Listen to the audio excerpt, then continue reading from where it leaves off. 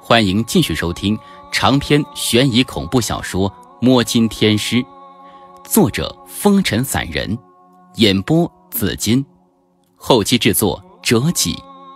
喜欢本故事，别忘了打赏以及订阅一下。此时此刻，我心绪激荡，难以自禁。打？我还怎么打呢？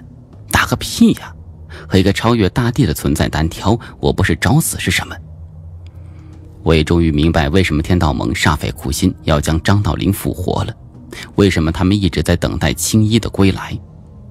这背后恐怕到头来还是带着丰都大帝和星空大帝的影子，就是他们安排的。无论是张道陵的肉身神印，还是大道神印，早就已经在他们掌握之中了，差的就是青衣这道灵魂神印回归。只不过之前青衣这道灵魂神印一直都不是很成熟，所以他们在等待。现在好了，毋庸置疑，一切都已经开始了。张道陵的复活已经提上日程了。我坐在鲲鹏的头上，脸上带着苦涩，只感觉脑子里都是一片空白。那鲲鹏倒是聪明的很，大抵是一下从我脸上看出什么了，顿时一叹就说。鹿死谁手，苍天尚不知，而今少年何故愁呢？若问是非因缘数，举头三尺早已定。闻言，我浑身巨震，似乎明白鲲鹏在想什么，而他也没有直接点破，而是说道：“其实你也不必如此忧愁。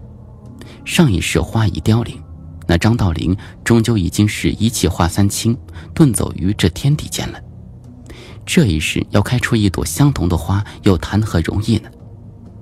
那青衣虽然是张道陵的灵魂神音，但是他离张道陵还差了一点。这三道分身想要如何在一起拼凑成一个张道陵，哪里是那么容易的呢？分开千年，彼此之间的融合比前世今生融合还要难得多。要我说，他们至少要集齐九朵永生之花，九九归一，方可成功。永生之花，我蹙起了眉，一时不明就里。这名字我还真的是没有听说过。不过落荒他们三个的反应却大得很，一瞬间脸色就变了。永生之花，泰利语气有些尖锐的说道：“你说的永生之花，是号称天下第一奇葩，能生死人肉白骨的永生之花吗？也叫万妙之花。”是号称可以打开生死之门、篡改天地法则的大道结晶，为九天十地第一神物。据说只是生长在梵天净土，可对吗？不错，鲲鹏说着。张道陵一气化三清，相当于把自己劈成三半。分离时候容易，可是要想再粘合在一起的话，可就没那么容易了。相当于一个人切成三半。切的时候轻松，几刀下去就完成了。可是再让这三半凑成同一个人，那就必须要有逆天的手段了。这张道陵便是如此，从他一气化三清那一刻起，就等于他已经死了，和道家的冰解十分类似。只不过这一气化三清是道家冰解的最高境界而已，还能留下一线生机。无奈他的生命形态太高了。只能靠传说中的永生之花，也就是你说的万妙之花，方才能够救得了他。呵呵，那就没什么危险了。泰利顿时大笑起来。万妙之花呀，生长在梵天净土的东西，想找到谈何容易？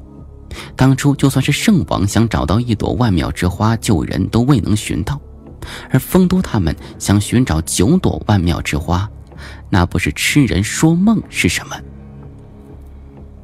未必吧，鲲鹏说道。我跟在丰都大帝身边时间已经很长了，据我所知，丰都大帝似乎已经寻到了一部分永生之花，而今不过是差几朵而已。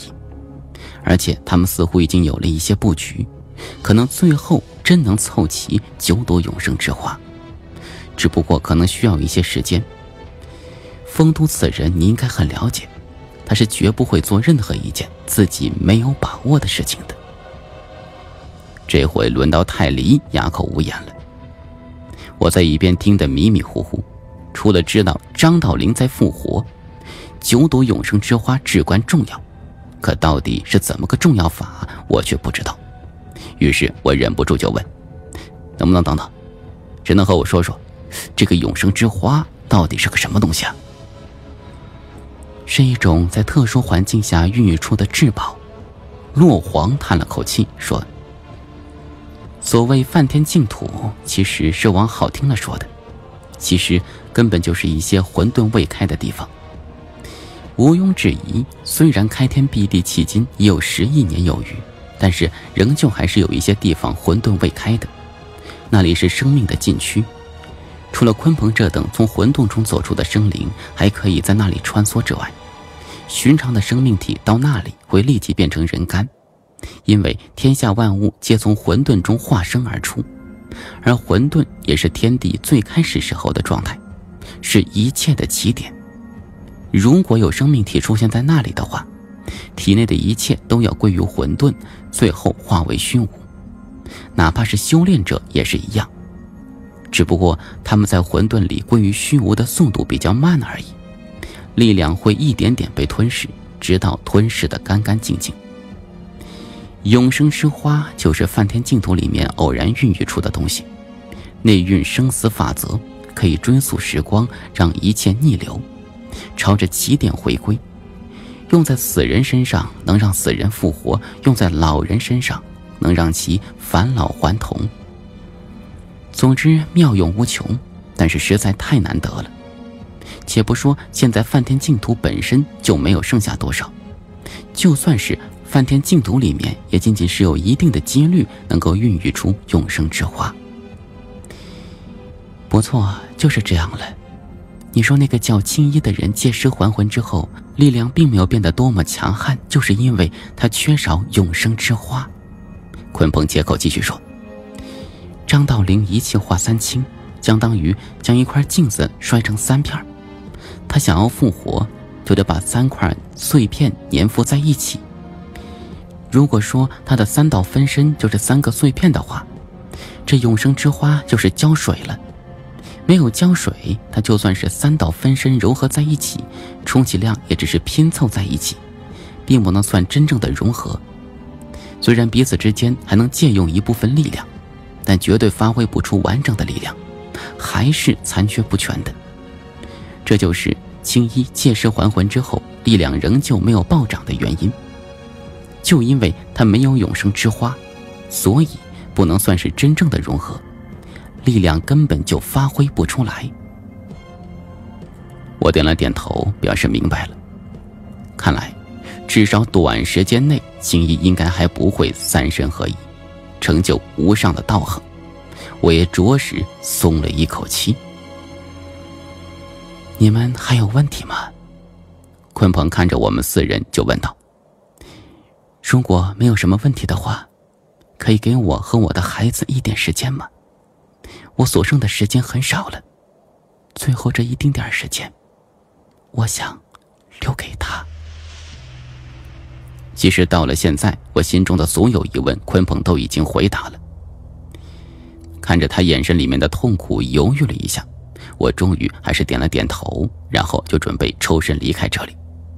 谁知这时候，洛黄忽然跟鲲鹏说：“天下为局，众生为棋，身处其中，你我谁都跳不脱命运两个字。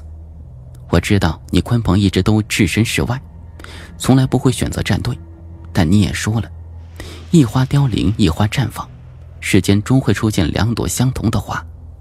现在未来一切都充满未知数，每个人都没有选择，但是。”又都得没有选择中做出自己的选择，所以，我希望你能考虑好自己应该做怎样的决策，站位站到哪一边。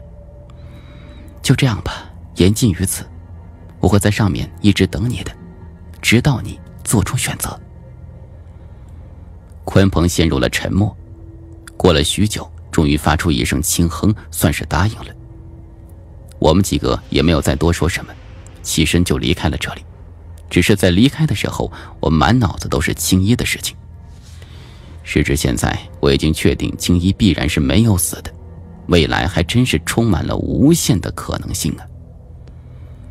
他是张道陵的灵魂神印，那么我又是谁呢？我怅然想着鲲鹏留给我那句话：“鹿死谁手，苍天尚不知，而今少年何故愁？若问是非因缘数，举头三尺早已定。”其实我是谁，我已经有了猜测了，只是我不大敢相信罢了。